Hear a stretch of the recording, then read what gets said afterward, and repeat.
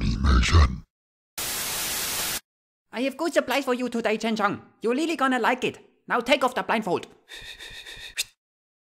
Uh, Wang Bing, what is this? You were light last time.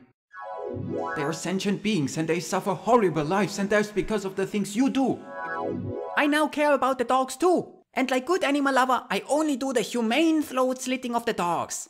Wait, but you still kill the dogs. Of course, but much nicer. I show you. No, no, wait, no, First, no, I no, do no, no, no. And only now I do this. As you see, very humane, very good, very okay. Wang Bing, do you even know the definition of the word humane? Ah, yes, yes, it means the, uh, characterized by tenderness, compassion, and sympathy for people and the animals.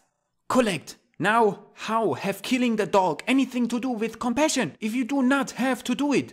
You have so many nutritious and delicious plant foods available to you.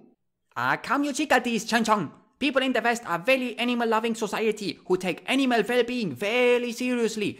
And they say this humane way to kill animals for mouth pleasure. So as you see, if I kill the dog like this, then it's very okay. Now, excuse me, I have a lot more compassionate stabbing of the dogs and cats to do.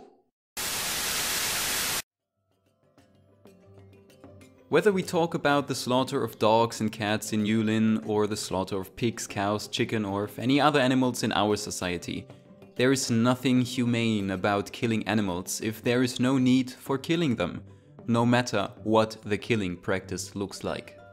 In our day and age, we don't need animal products to survive or to be healthy. There is an abundance of plant foods you can choose from to meet all your needs.